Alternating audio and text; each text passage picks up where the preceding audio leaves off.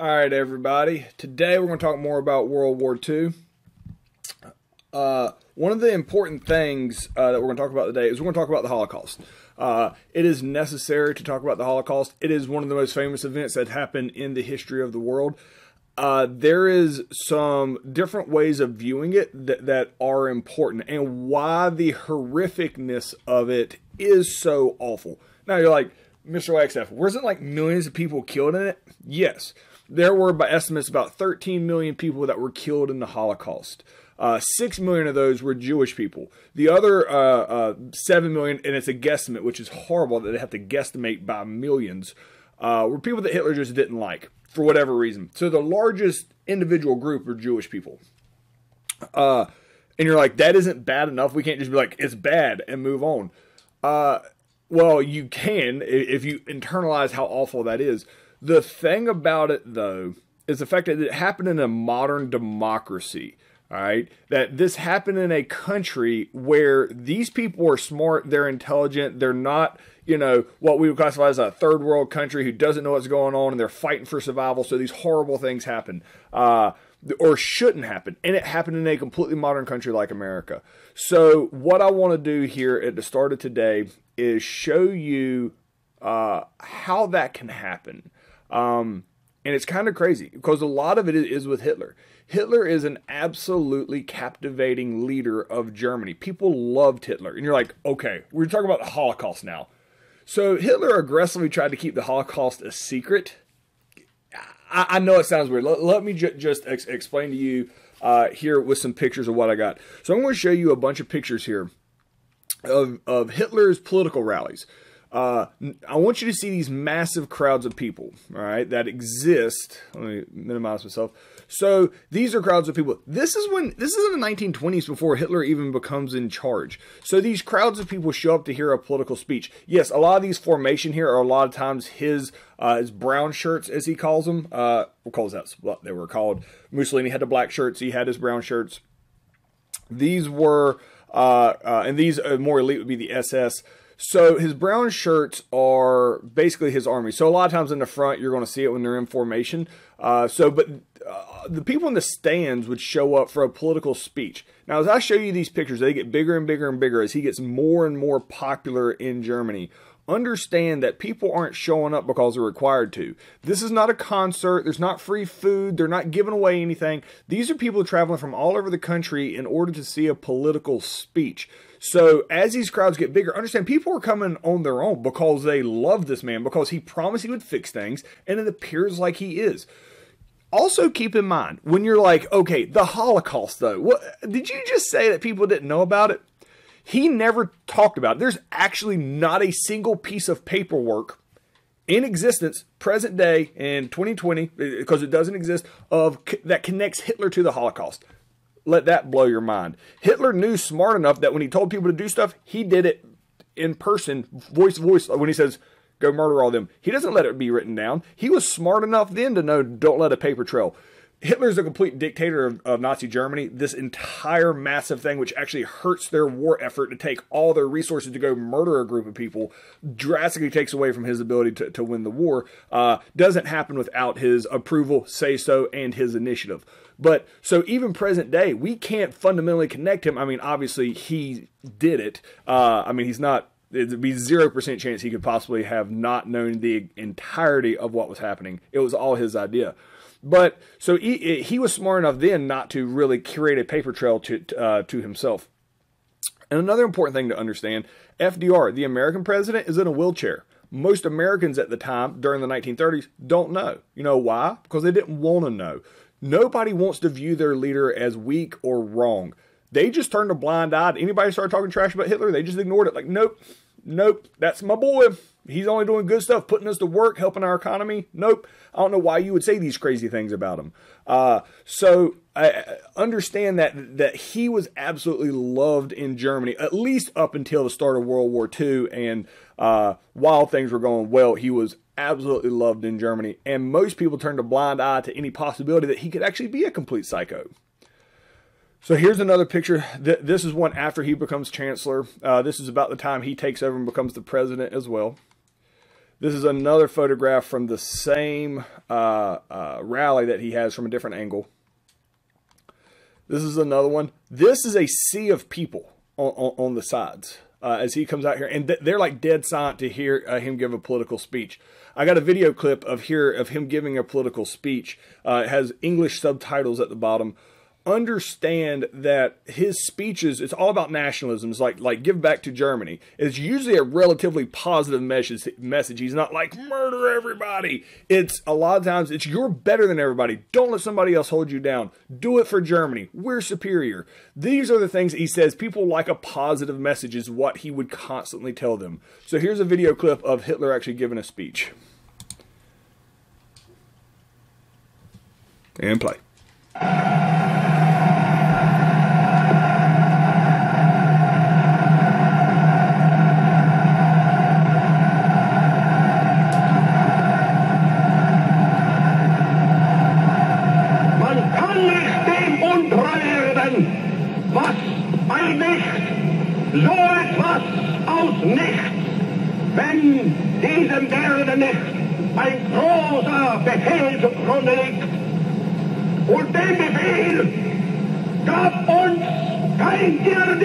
Vorgesetzter, den gab uns der Gott, der unser Volk geschaffen hat.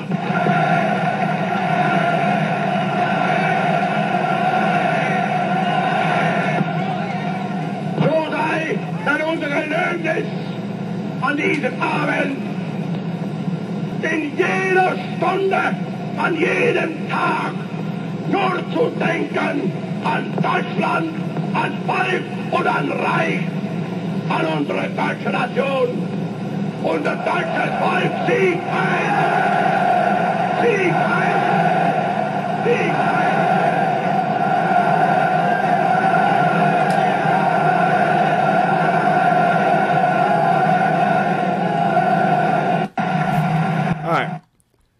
So, uh, here, here's another one of his rallies.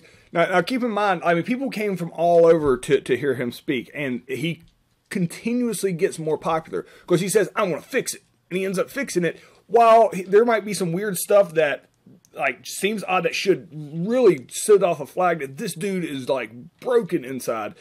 When he's doing good things for the uh, society that you know that is in, that he's in Germany, uh, they're very supportive of him. Uh, so I'll, we're going to get there, and we're going to talk about the Holocaust in particular here. Uh, so the, the point of this is to show how much support this man had. This country loved him. All right, while he is already starting the beginnings of the Holocaust, uh, of the, this extermination of a race of people. So these two things are happening at the same time, and it, and it's terrifying. This happened in a modern democracy. Uh, we can see the sea of people out here. There's another massive rally. You can see the sea of people out here that, that have shown up. Obviously, this here and, and over here, the, this is military that's like required to be there. But these groups here are massive populations of people. This is a uh, the pictures are very good. I got a couple more pictures of this rally, uh, but that's Hitler walking up to give a speech. This is a whole nother rally, just hordes of people uh, that have shown up for these rallies.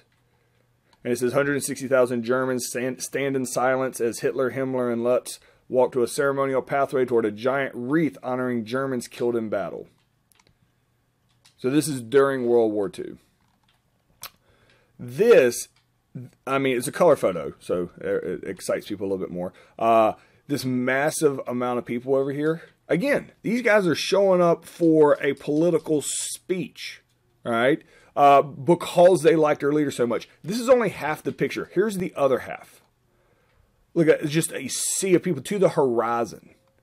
I mean, it, it's it's hard to explain because it's nothing's ever really. this is how captivating he is as a speaker. People believe him. He gets results. That's our man. While simultaneously doing the most psycho thing that any human being has ever done uh, uh, before, which we now we had to create a whole word for it. Like, there's not been more than one Holocaust. There's been the Holocaust. They're like, how do you explain this thing that happened with Hitler? And it's the Holocaust and, and I just learned this here recently, um, uh, taking my class on Hitler.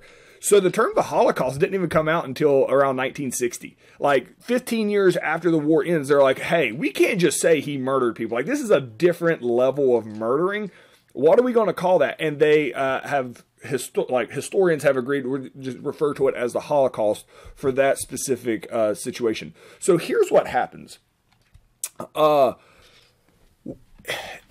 it's it's unique. It wasn't like Hitler's in charge. He's like murder them all it's it's a little different than that. Keep in mind, Hitler has no emotions. He's a sociopath, so emotions don't affect him uh, uh, like other people would. This is the only possible way that that this works out. So his logic and the way he views things is a little different. He wants power. All right, he understands the way to get power is to have the people on your side. He knew that from the beginning. Come to power. I mean, he promised them everything when he beca- when he became the chancellor, and then as president, and then he fulfills as many prof- uh, promises as he can. It's a shell game a lot, so he makes it look better than it really is. But just like all the other people, they're like, "Oh, we have a Jewish problem in Germany." So Jewish people historically at this time, and this is what we don't realize today.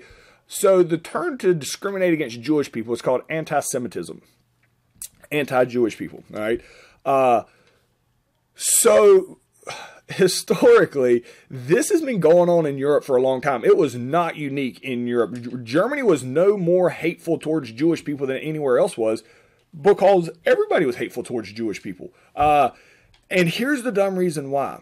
Historically and religiously, uh, since Eng- uh, Europe is mainly Christian, and there's a very small percentage of Jewish people left in Europe they blame they the Christians blame the Jewish people for killing Jesus. This was like 2000 years before. So there's this like uh, ongoing like beef between Christians and Jewish people passively. Um, so I mean, there, you, nobody's really getting beat to death in the streets or anything, but there was like, oh, I don't want you living in this neighborhood type of, you know, just discrimination that was common throughout Europe. Jewish people were historically in Europe looked down on. It was a very small group of people, and it was just a thing that happened. Today it is extremely uncool in anti-Semitism. Nobody, everybody's like, man, you can't just talk junk about Jewish people. And the reason that comes out is the Holocaust, because you realize what happens when it's completely acceptable just to openly discriminate against a, gr- a group of people. So when like Hitler's running for office, all right, and the Nazi party is, they talk a lot of junk about Jewish people. Well, so did most of the other political parties and the people that were running for political uh, office. There were like 10 political parties in Germany at the time. Only two of them allowed Jewish people even in their political party. It's also important to point out Germany has a very small, very small Jewish population very small compared to other countries extremely small. So when hitler runs for uh, uh, for office he talks junk about jewish people. This was a common thing to do.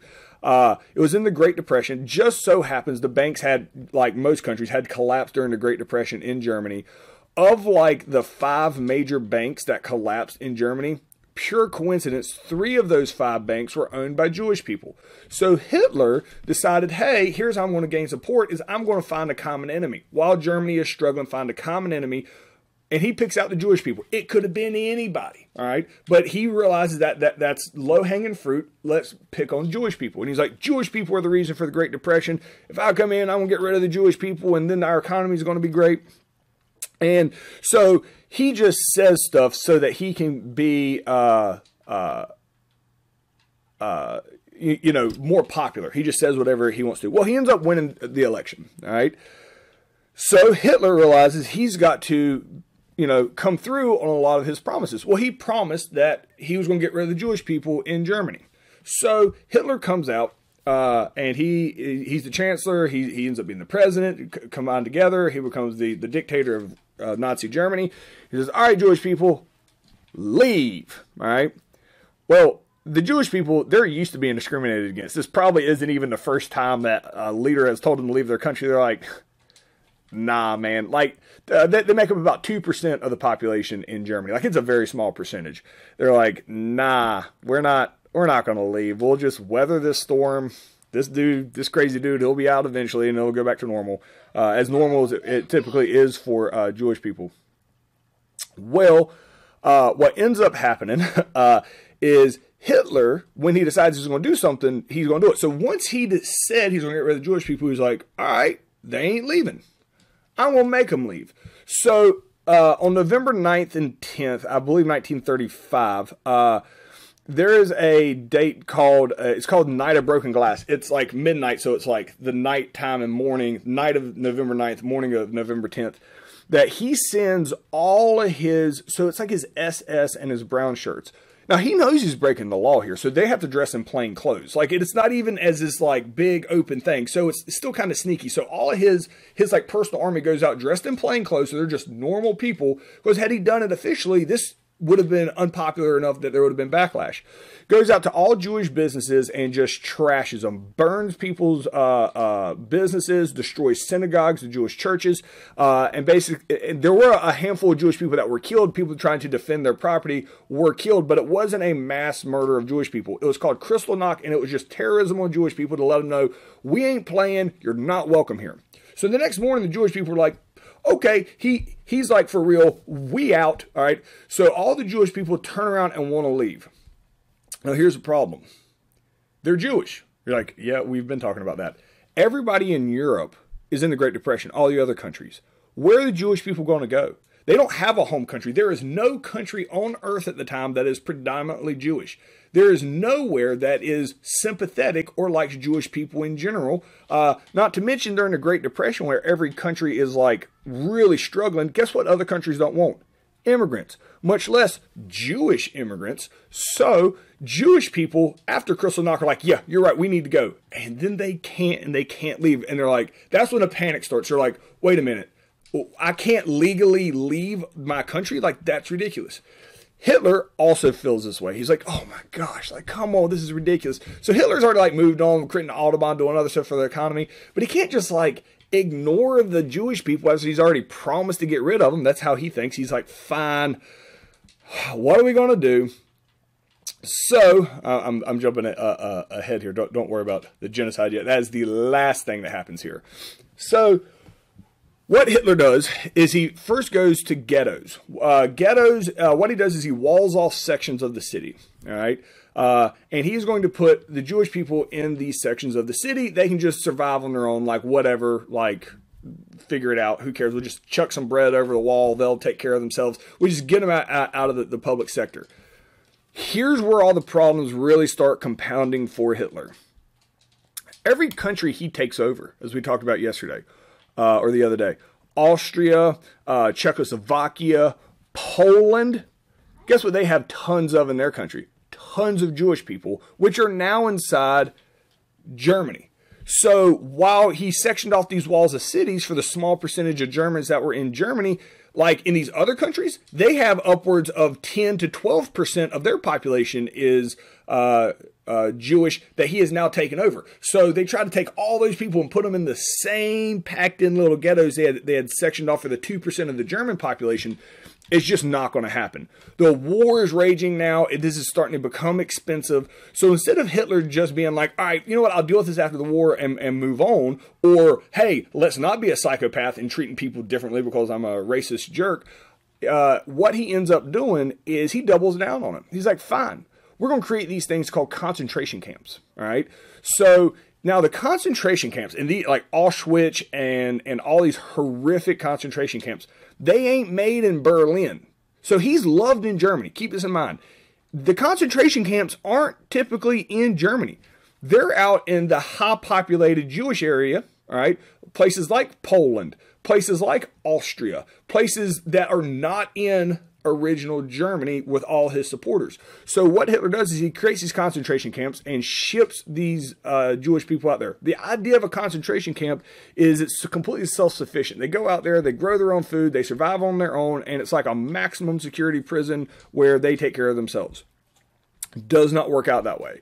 Uh, they can't grow the food because a lot of places they build the concentration camps at don't have enough fertile soil, or the prisoners the Jewish people don't have uh, uh, any skill set to be able to grow food. They're not given any supplies. They're not given any tools. Uh, they're basically sent out there to slowly starve to death. And the more places Hitler takes over, the more Jewish people he has in his population, the more he sends out to these concentration camps. It, it's it's a so when they start starving to death, who cares? It frees up space for somebody else. Like the, the lack of emotion already in, in the entire situation is just absolutely uh, horrific. So the concentration camps, also, called labor camps, uh, that uh, they're, they're just pumping uh, Jewish people in there, and also any prisoners they get, anybody else they don't like, they just send them to concentration camps.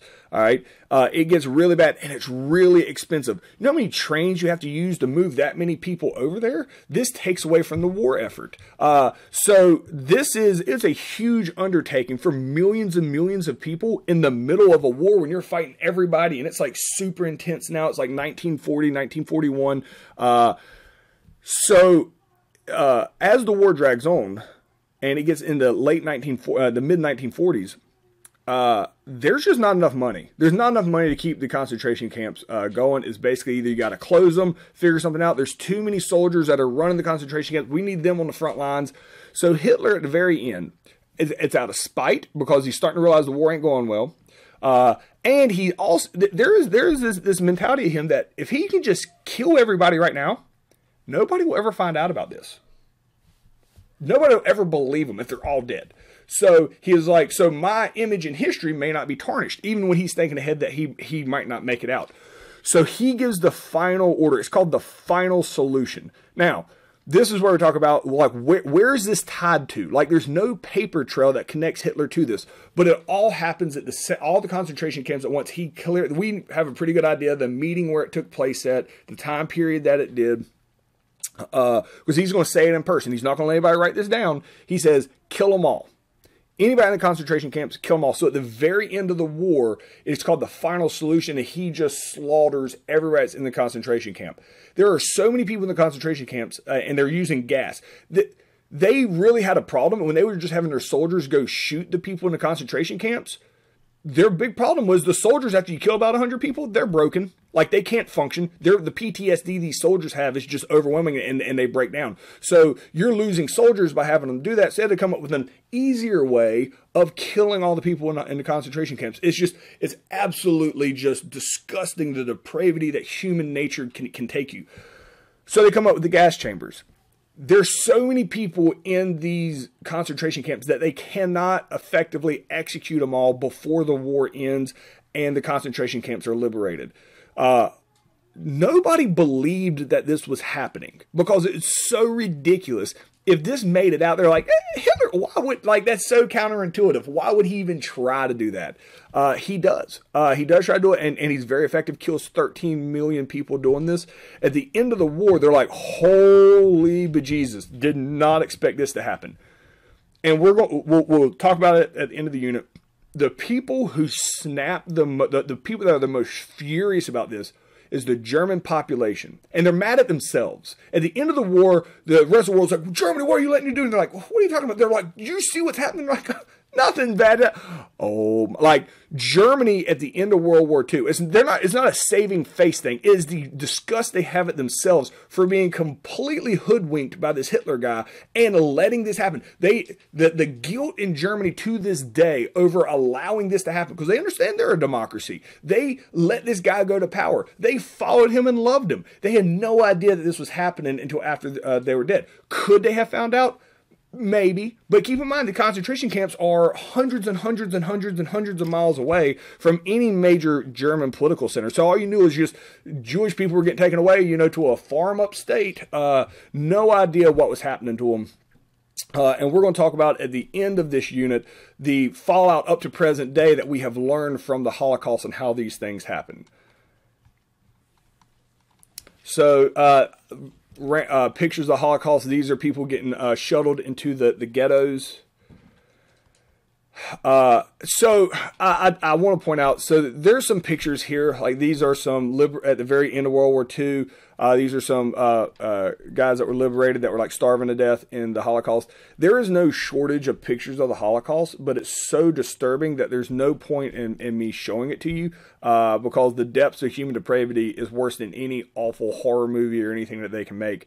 So uh, uh, there is just tons of the most heart wrenching and soul sucking pictures of what humans can do to other humans on the internet that I'm not showing it to you because I'm just here to give you the ideas over how humans can do this other people. Uh, even even for me, I can't I can't go through and look at the pictures because it's just it's it's absolutely shocking. It makes it too real that humans can do this to other humans. Uh, if you ever read the book Night, I think you read it as a junior. Uh, the guy that wrote the book Night is in this picture. I believe it's this guy. I think it's him.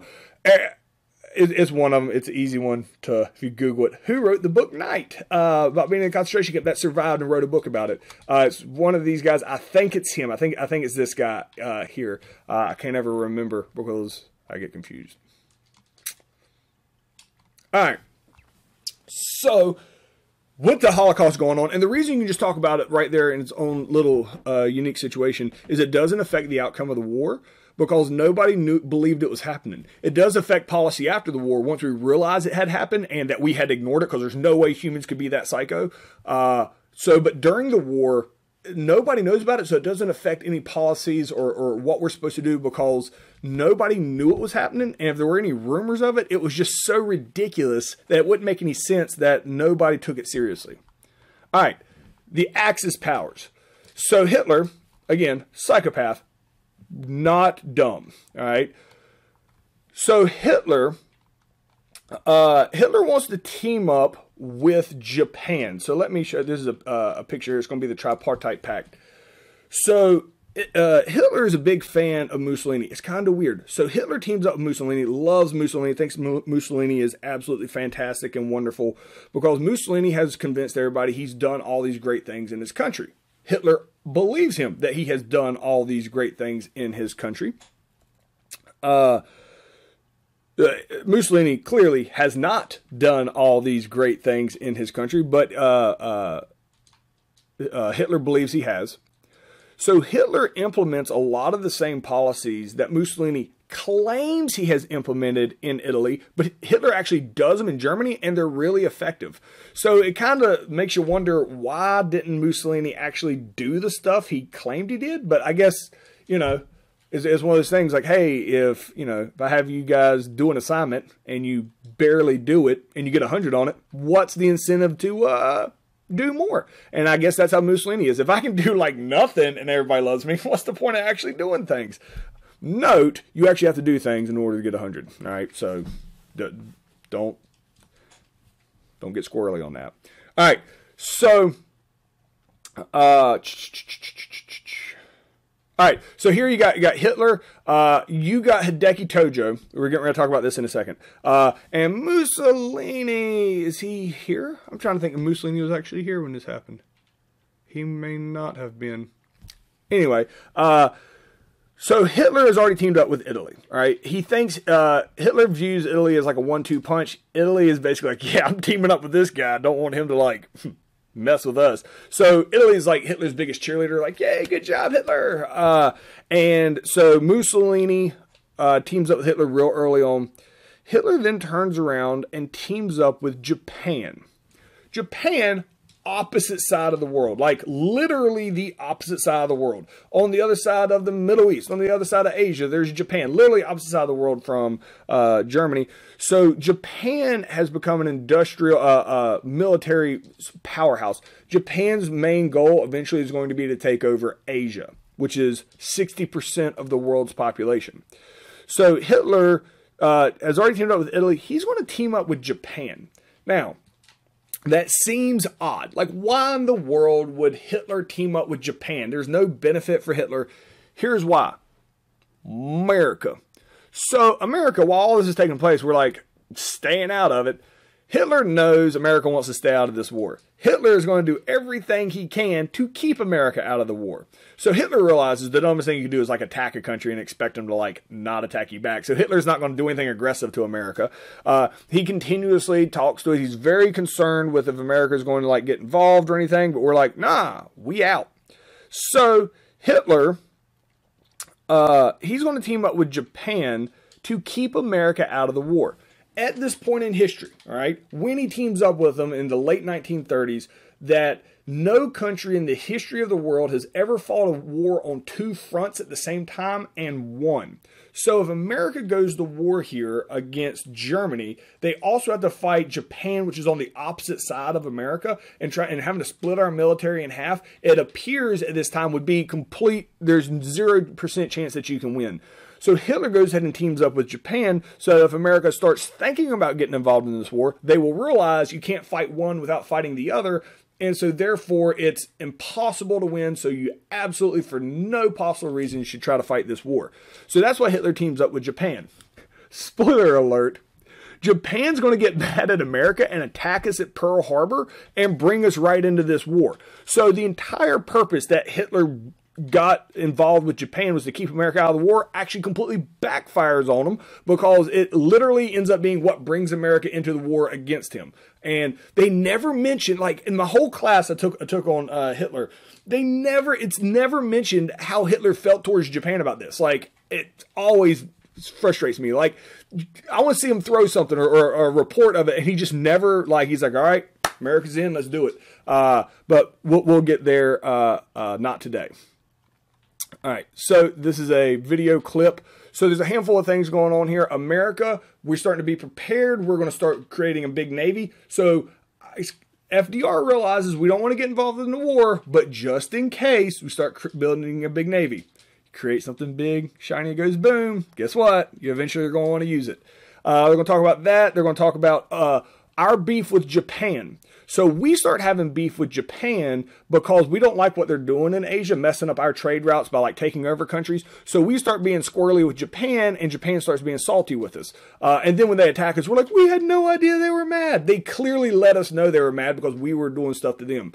But it talks about our beef with Japan, our build up of the Navy, and then it's the tripartite pact with Hitler uh, uh, meeting up with the leader of Japan, a guy named Hideki Tojo.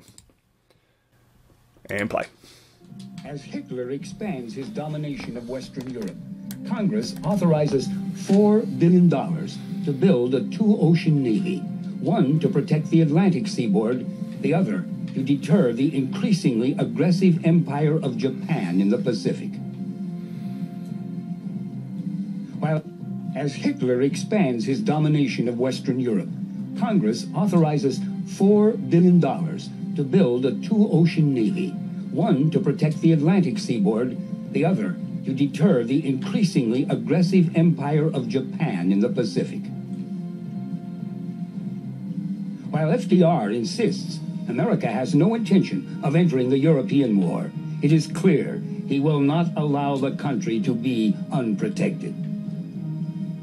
The growing threat of Japan forces FDR to take action. On August 1st, all Japanese assets are frozen. Japanese American trade comes to a halt. Their leaders accuse the U.S. of economic strangulation. To put America on some sort of war footing, President Roosevelt signs the first peacetime draft. General Douglas MacArthur commander of See if the I can U.S. pause Army this and not mess it up. This is important. Argued for years. All right, so Douglas MacArthur, we're going to talk a lot about him in World War II. He ends up being a huge player. He's arguing about how underfunded the military is. Great Depression, they don't have any money. So MacArthur and FDR had beef with each other because F- obviously the military always wants eh, like tons and tons of money. Uh, so MacArthur's like, we're underfunded, and FDR's like, it'll be fine. It ended up kind of being a struggle on, but this example here is awesome. They don't. So when they do their their exercises, trying to you know get uh, uh, prepared, they don't have enough like tanks to actually do tank maneuvers. So they got a big old truck here, and it says tank on the side. So everybody has to acknowledge it's like a tank, even though they don't have enough tanks to actually do their their training exercises. Uh, to kind of go to show uh, what MacArthur's talking about, how underfunded they are. Well, hopefully I can hit play and it doesn't start over. That the military is. It- oh, really? That's what we're going to do now? Why does that sound doing that? Don't be weird. You. So this is a thing. Hooray, technology. Actually, you, you know what that is? Let me pause this real quick. That is because blah, blah, blah. I have a battery dead on something. Here, I'm going to pause it and it's going to be like instantaneously. All right. So I had to change the batteries in. Did it seem instantaneous? All right. Please work. I said, please work.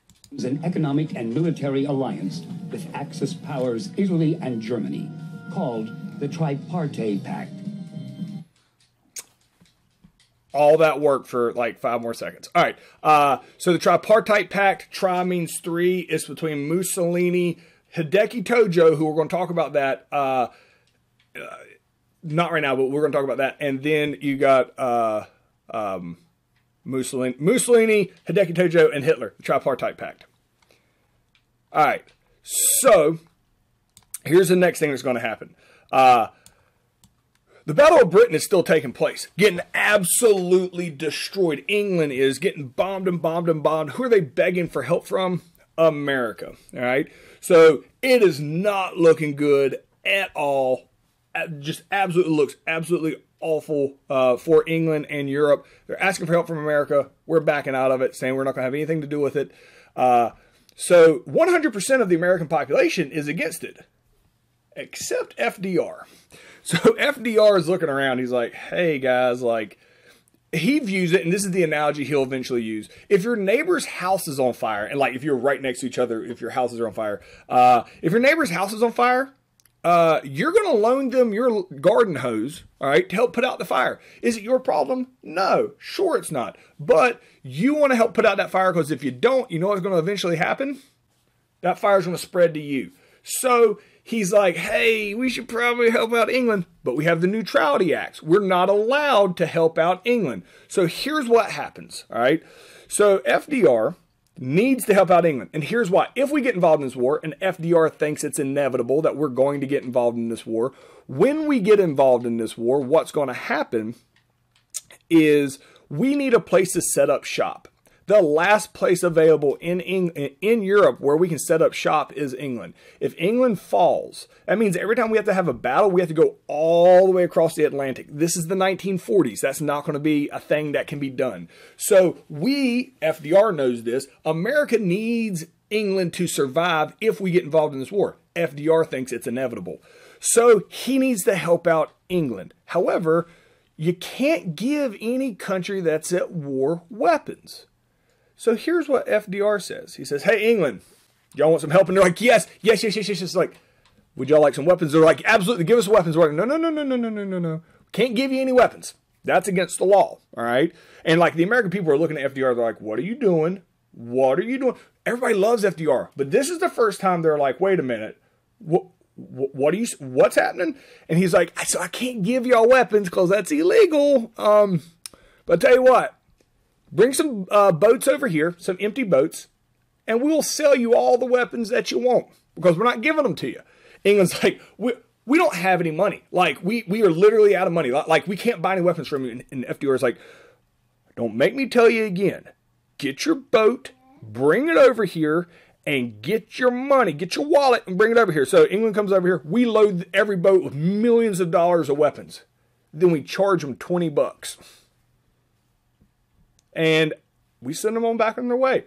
The entire America looks at FDR and like, what, are you doing? He's like, sold them weapons. Now, granted, he sold them millions of dollars for like 20 bucks, like next to nothing. Those are exaggerated figures, uh, but they, they basically are buying this for next to nothing. And just so technically they're buying it from us.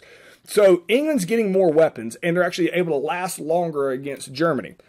Well, this works for a little bit and it's called the cash and carry policy. Then England 100% runs out of money, just completely runs out of money.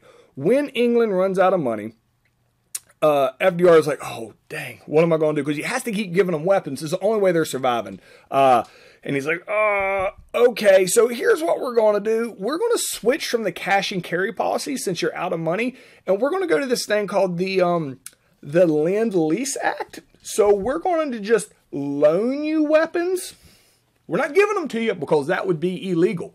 We're going to let you borrow them, all right? The, uh, letting people borrow weapons is like borrowing a piece of chewing gum. This is not a thing that, that comes back. Uh, so the American people are pretty perturbed about this because they realize FDR is putting us on a war footing. Not only that, we have clearly sided with England here. We're still salty about World War One. Like they wouldn't listen to the 14 points. So, but he is clearly putting us on a path kind of slowly meandering towards this war, which the American people want to stay out of. But the Lend Lease Act is where we are loaning weapons to England. They have to pay us back later with them, or or you know, give them back to us when they're done. We don't really want them back. The Lend Lease Act is very, very important because it's what allows England to survive long enough for when America does get involved in this war. All right. Uh, so there's a little video clip. This is going to be about the Lend Lease Act, and that's Winston Churchill. This is the leader of England at the time. Play. Gave thanks. Never in the field of human conflict was so much owed by so many to so few. But bravery alone could not win the war. Britain was crippled, with no more resources to build the planes and ships needed to withstand Germany's next attacks. Winston Churchill turned to America and FDR for help. In 1940, Franklin Roosevelt was reelected to a third term as president, the only American president ever to serve more than two terms. Roosevelt would not commit troops to the overseas battlefield, but he vowed to help the British in their life or death struggle against Hitler's regime. I ask our most useful and immediate role is to act as an arsenal for them as well as for ourselves. With FDR's urging, Congress passed the Lend Lease Plan, which allowed him to lend or lease arms and other supplies to any country whose defense was vital to the United States. Not all Americans were united in their support of the president, however. Charles Lindbergh, the first man to fly solo across the Atlantic in 1927, was a staunch opponent of America's involvement in the war. We cannot allow the natural passions and prejudices of other peoples to lead our country to destruction. Despite opposition from Lindbergh and others, the Lend gave thanks. Never in the field of human conflict was so much. So, this is a cartoon right here. This is my boy Logan. Logan, wave. All right. Yeah. So, Logan, I can't stop it in the middle of the video. So, uh, this is my boy. He's upset because his Xbox controller just died. And so then he can't play his game. So, g- give me one second. He's going to disappear here. All, all right. The boy has been vanquished.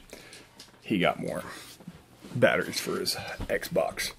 Been doing work with him all morning. Anyway, all right. Uh, so the last thing that's very important here is this thing called the Atlantic Charter. All right. So the Atlantic Charter is Winston Churchill is very, very happy that uh, America wants to get involved and give and give him stuff.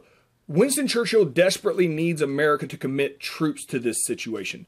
So Winston Churchill comes over and meets with FDR on a boat off of the coast of of uh, of Canada. All right. And when they sit here, they're going to meet, and this is called the Atlantic Charter. All right. It's very important because a couple things happen here. At this Atlantic Charter, uh, they, they're, they're both on the ship here. I got a picture of it. This is uh, Winston Churchill uh, sitting here next to FDR. Notice they're both sitting down. All pictures of FDR are always taken when everybody's sitting down. Do you know why that is? It's because FDR is in a wheelchair, all right, and out of sign of respect for him, everybody sits in chairs. Even when, spoiler alert, st- on the first picture ever of Stalin sitting down is going to be uh, with FDR. Uh, so Winston Churchill looks at FDR and says, I need you to commit troops right now.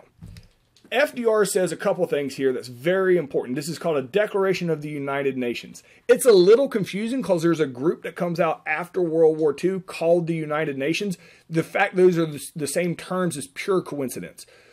Uh, FDR says we are like a United Nations, meaning America and England, BFFs. From this point, from this meeting right here to present day, America and England are BFFs. They're like our only friend. Uh, you probably all have a really dumb friend who does really dumb stuff and you have to go support them even though you know what they did is dumb. If you don't have a really dumb friend that you have to support all the time when they do dumb stuff, you're the dumb friend. All right. So we all have one of those people. All right. Uh, so uh, we're England. Uh, whenever we do weird stuff, England always supports us from this point on. FDR tells uh, Winston Churchill, "Hey, I support you, man.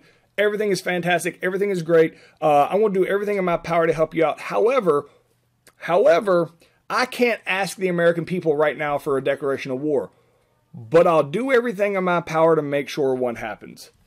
That's kind of crazy that he says that because shockingly, very soon after this, we're attacked by Pearl Harbor, uh, or attacked by Japan at Pearl Harbor. Uh, but so at the Atlantic Charter, we basically say we're on your side. Germany's a bad guy. We know that. We can't get involved right now, but I want to do everything in my power to make sure that we do get involved. Uh, so it's kind of odd that he says that right for Pearl Harbor, but it's Japan. I, I'm not starting a conspiracy theory here. Japan 100% attacked us at, at Pearl Harbor, uh, but there is a, a, a train of thought now as we get further away from it at the time that maybe we knew that was going to happen. Uh, and that's what FDR was referencing, knowing that there's a chance there could be a conflict with Japan, and we use that as an excuse to hop in and help them out. All right, that's as far as we're going to get today. Uh, see.